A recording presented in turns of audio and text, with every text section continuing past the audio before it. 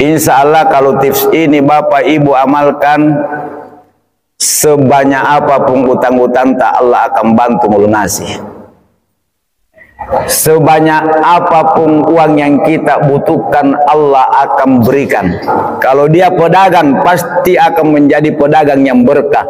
Kalau dia pegawai dia akan menjadi pegawai yang berkah, yang PNS maupun yang honor atau apa pun profesi penting bukan korupsi dan pencuri. Hmm.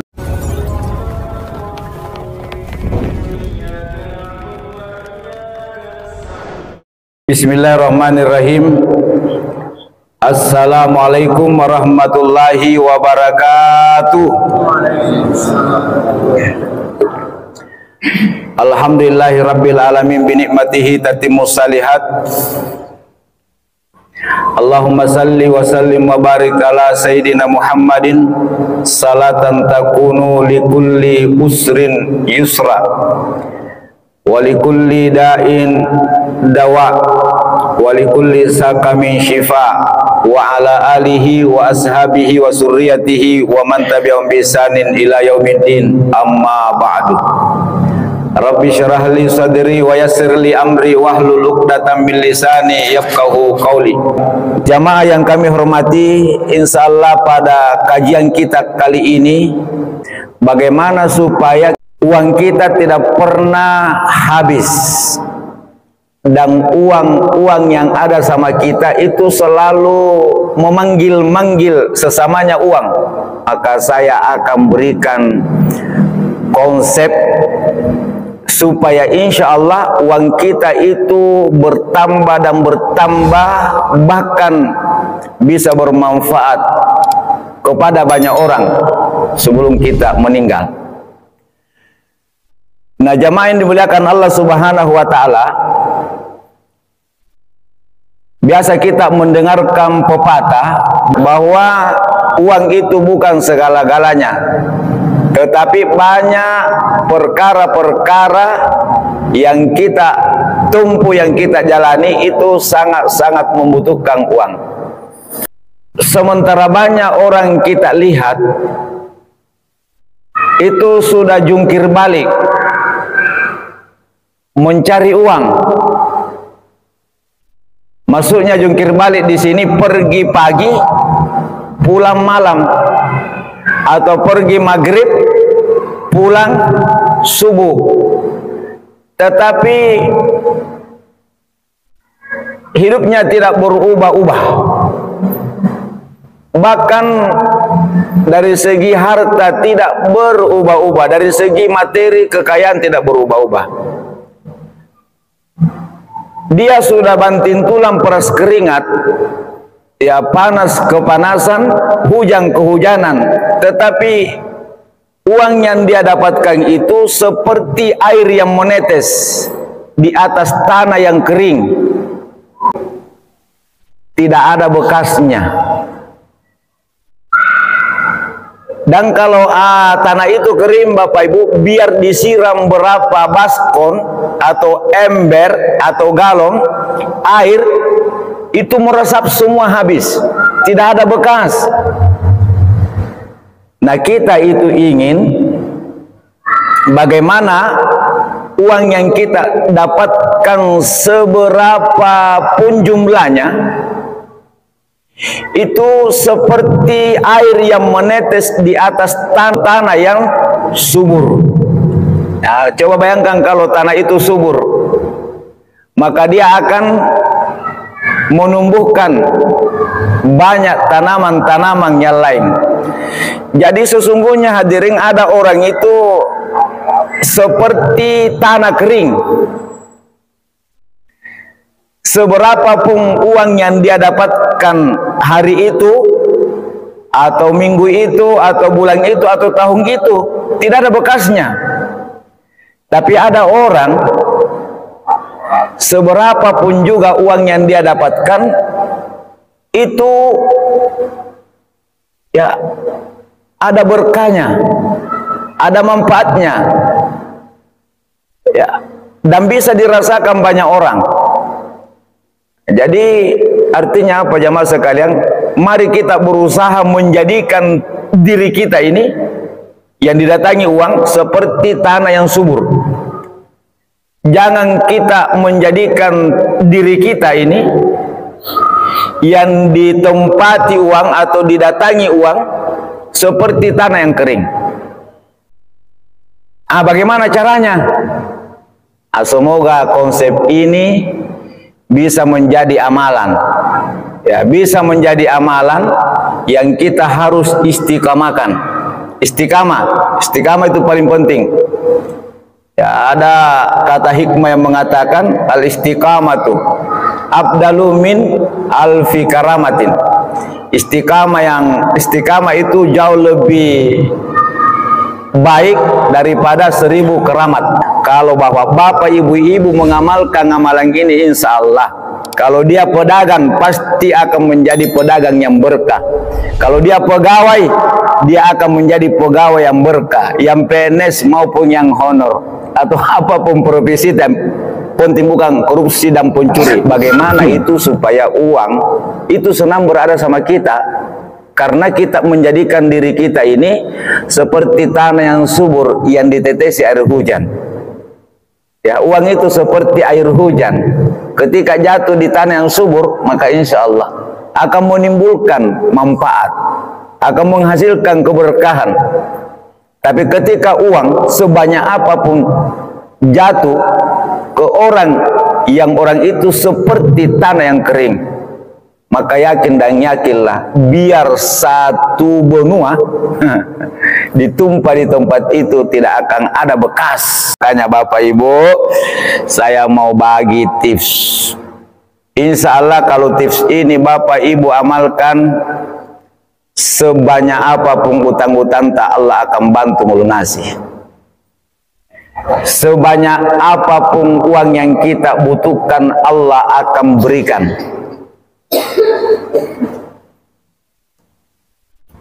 Amalannya satu. Dari semua uang yang kita lihat tadi, yang mana paling berharga kita rasa? Ya kan tentara tuh alhamdulillah tuh. 100. Nah, oleh sebab itu mungkin jamaah-jamaah jamaah bapak-bapak, ibu-ibu Sering ada uang begini di rumah kita. Uang logam atau uang seribuan biasa lah. Biasa. Sekarang pertanyaannya, ketika bapak ibu melihat uang seperti ini di rumah, apakah langsung diamankan, diambil, atau dibiarkan saja? Hah? Diamankan di mana? Biasa. Ini paling kali biasa. Karawe kunjo tak lena. Ini panai kali jadi mejaya. Nah, sekarang ada ayat yang berbunyi dalam Al-Qur'an di surah Al-An'am ayat 59 Allah Subhanahu wa taala berfirman A'udzubillahi minasyaitonir rajim wa ma tasqutu min warakatin illa ya'lamuha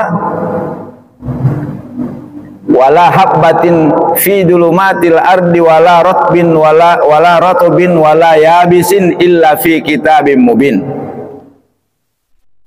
Ah, ini ayat di surah Al-An'am ayat 59. Tidak ada sebutir biji pun dalam kegelapan bumi. Ya, apalagi bukan gelap dan tidak pula sesuatu yang basah atau yang kering. Kalau karena ini isinya dunia cuma dua. Kalau tidak basah, kering yang tidak tertulis dalam kitab yang nyata yaitu lohil mahfuz artinya tidak ada satu pun di muka bumi ini kecuali diketahui oleh Allah subhanahu wa ta'ala dan semuanya atas kehendak Allah subhanahu wa ta'ala. Itu sejalan dengan di surah al-fatihah ayat kedua. Alhamdulillahi Rabbil Alamin. Jadi alhamdulillah rabbil alamin itu adalah Rabbung itu di situ tauhid rububiyah. Allah yang menciptakan, Allah yang mengatur, Allah yang memelihara, Allah yang mengurus ya. Jadi apa pun yang terjadi di dunia ini baik yang kering maupun yang basah di gelapnya gelap Allah pasti tahu. Nah sekarang uang-uang yang saya perlihatkan tadi seperti ini atau ada uang bapak-bapak sekarang ada yang bawa uang Pak Awal bawa uang sembarangan pasar pasar pernahkah anda berpikir dan merenungkan bahwa sudah berapa tangan yang disinggahi uang ini baru sampai di tangan anda uang ini? Hah?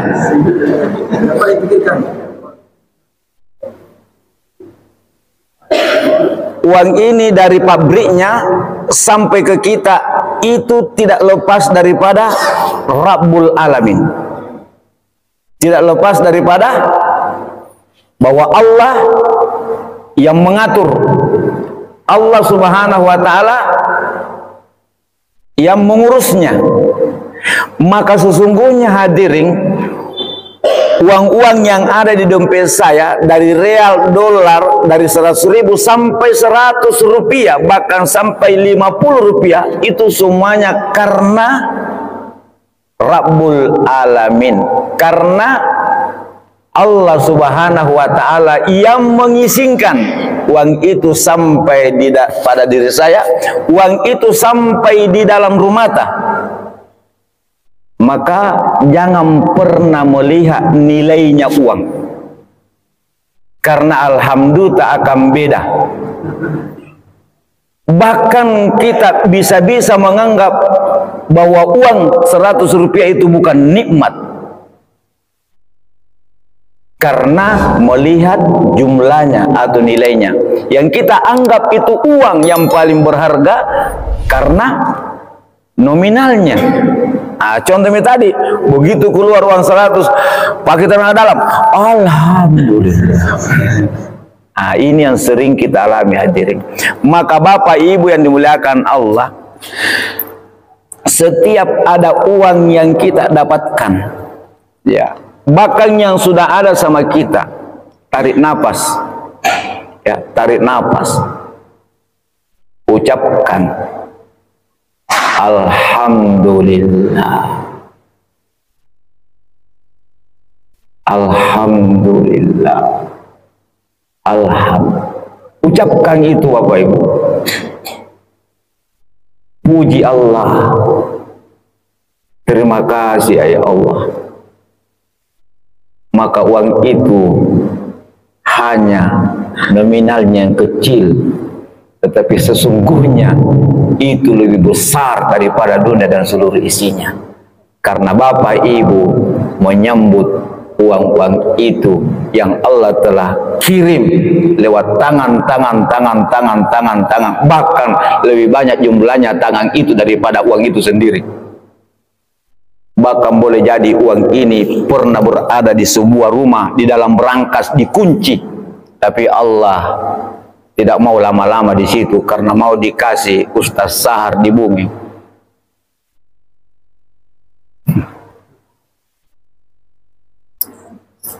Nah, sekarang pertanyaannya, biasakah kita mengucapkan itu ketika mendapatkan uang? Mungkin biasa, tapi yang tersisiko. Begitu kita menimbang cengkeh, langsung dapat uang satu juta, hanya bekerja setengah jam. Alhamdulillah. Tapi begitu hanya yang dijual satu karung daun cengkeh, Eh, lambo kembali anu ke dengan baso, pamali baso jintu. Coba, hilang alhamdulillah. Maka uang itu sesungguhnya telah berada pada orang orang yang seperti tanah yang kering yang tidak pandai berterima kasih kepada Allah Subhanahu wa taala.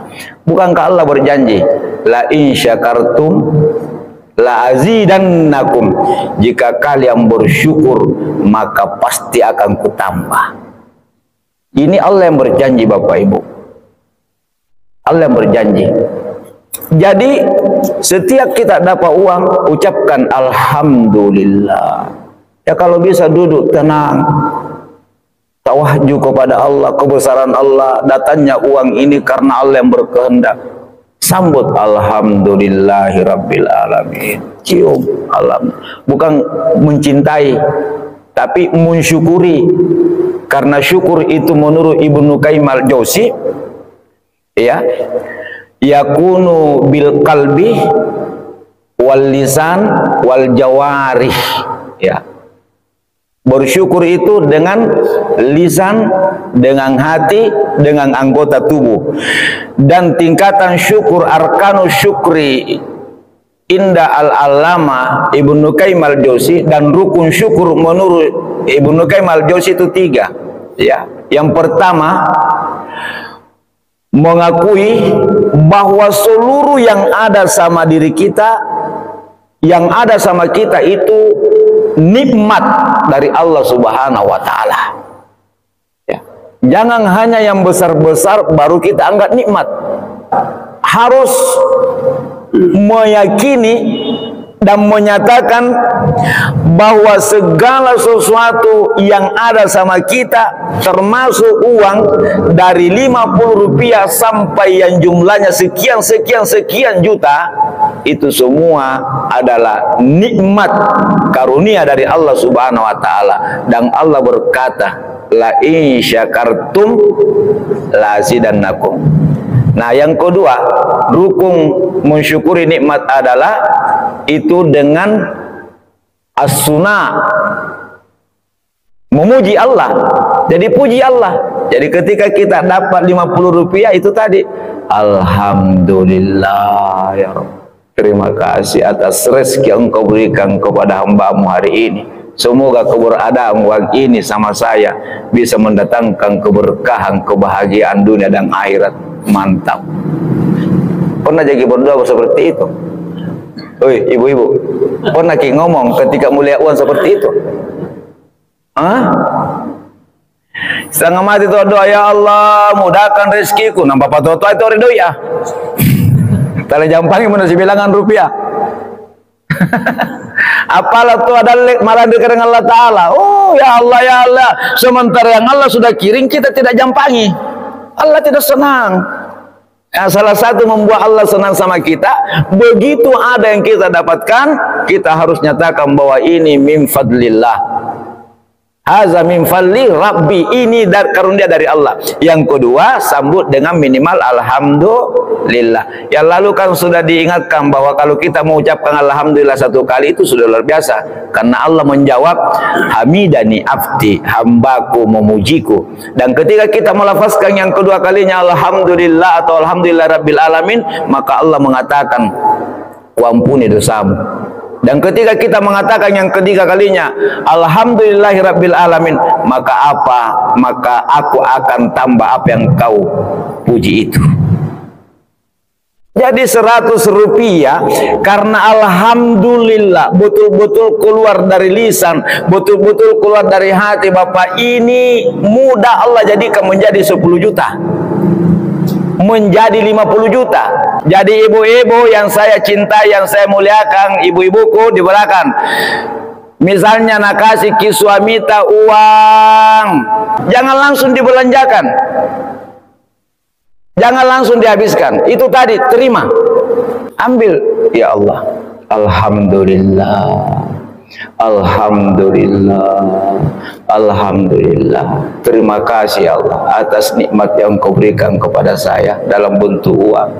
Semoga uang ini berkah buat diri saya Suami saya, anak-anak saya Dan bisa bermanfaat buat dunia dan akhiratku.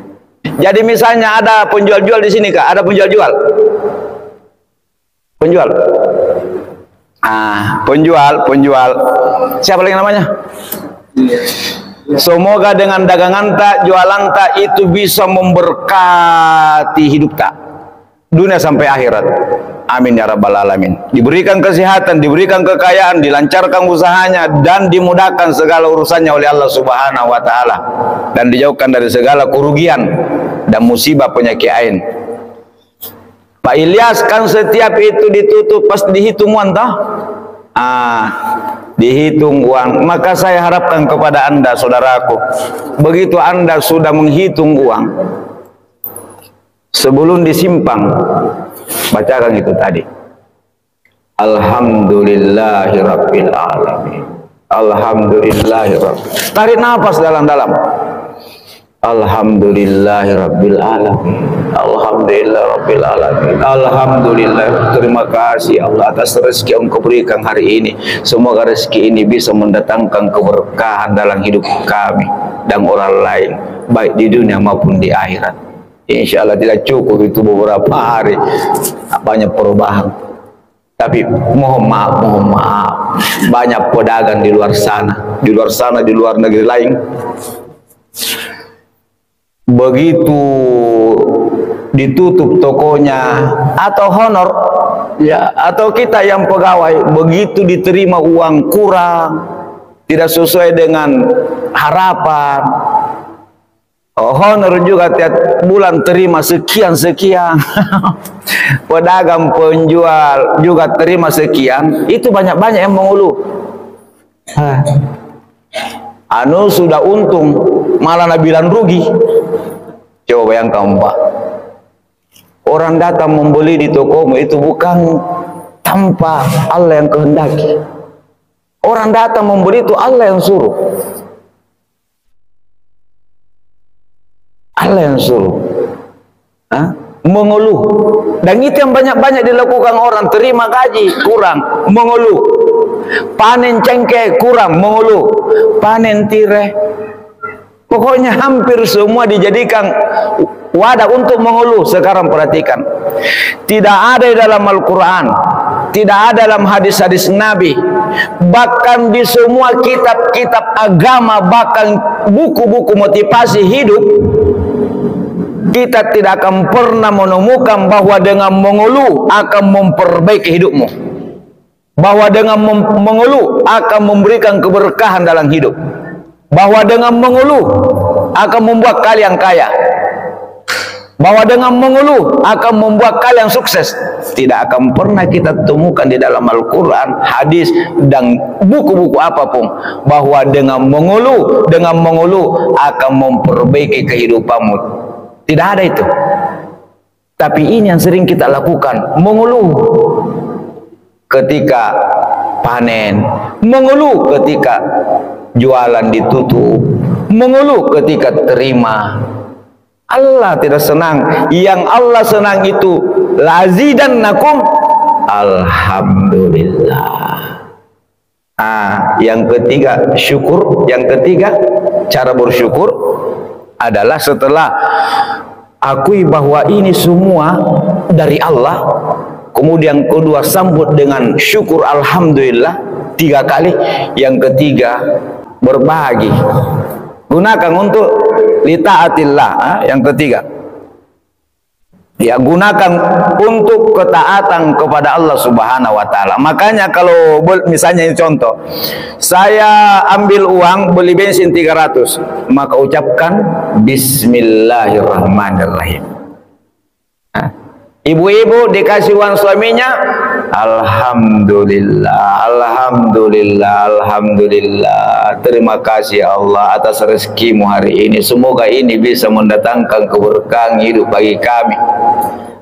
Kemudian lalang pakai beli pising, mau pergi beli pising. Nah terima tangan kiri atau tangan kanan. Bismillahirrahmanirrahim. Nabi katakan hadisnya dari Abu Hurairah, "Kullu amrin sibalil la yubda'u bismillahirrahmanirrahim fa huwa ajzam." Qalilul barakah wa huwa aqta. Segala sesuatu yang baik di dunia ini yang tidak diawali dengan bismillahirrahmanirrahim huwa ajzam maka terputus berkah dari Allah kalau berkah tidak ada Pak. Biar berapa banyak uangnya, maka orang itu bagaikan tanah yang kering. Tidak ada bekas-bekasnya. Maka jangan heran banyak orang terkenal dulu juragan di mana-mana tanahnya, tapi begitu meninggal seperti tidak pernah hidup di dunia ini. Ada orang tidak terlalu kaya, tetapi mungkin sampai kiamat namanya akan disebut terus. Itu namanya berkah. Manusianya sudah tidak ada seratusan tahun yang lalu. Tetapi sesungguhnya hidupnya masih hidup bersamaan dunia ini berjalan. Itu namanya berkah. Nah, zaman dimuliakan Allah Subhanahu wa taala. Lamal ya bensin, keluarkan bismillahirrahmanirrahim ya Allah. Semoga dengan uh, sebut berniat ki inna ma'amalu bin niat amal-amal itu tergantung niat.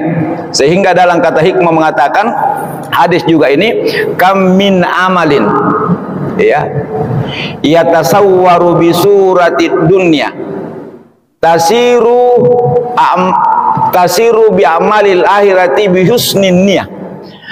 Betapa banyak amal-amal yang kelihatannya seperti amal dunia tapi berubah menjadi ibadah akhirat karena kebaikan niat. Wa kam min amalin yatasawwaru bi suratil akhirati tasiru bi amali dunya bi amali dunya bisuin niyah dan berapa banyak kelihatannya dan memang amal-amal akhirat tetapi akhirnya dinilai sebagai amal dunia karena keburukan niatnya. Bapak ibu datang di masjid bukan karena Allah, maka itu sama dengan pergi di kebun. Bahkan ada orang pergi di kebun itu akan bernilai pahala karena begitu dia mau berdiri dia baca ayat kursi kemudian dia ucapkan bismillahirrahmanirrahim. Ya Allah semoga apa yang saya kerjakan hari ini bisa mendatangkan kebaikan keberkahan bagi diri saya keluarga saya dan bisa semakin bertakwa kepadamu. Melangkah maka sepanjang langkahnya sampai pulang itu dicatat sebagai akhirat.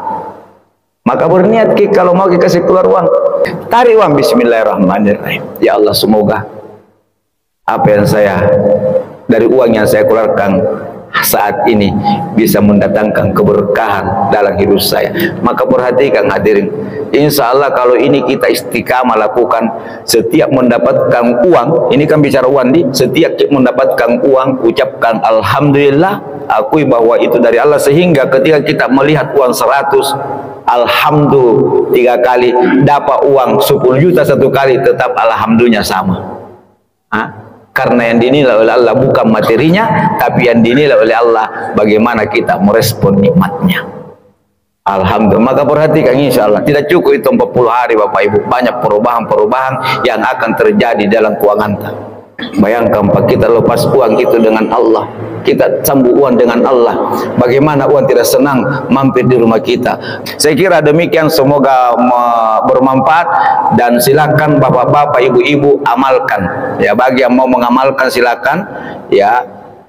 Supaya kita yakini ini bahwa itulah kekuatan energi uh, mujizat. Alhamdulillah terhadap uang yang datang kemudian energi mujizat ketika uang kita lepas dengan dilepas dengan kalimat basmalah Semoga Allah Subhanahu wa taala meridai kita, memberkahi hidup kita dan semoga Allah senantiasa memberikan jalan keluar dari segala masalah yang kita hadapi.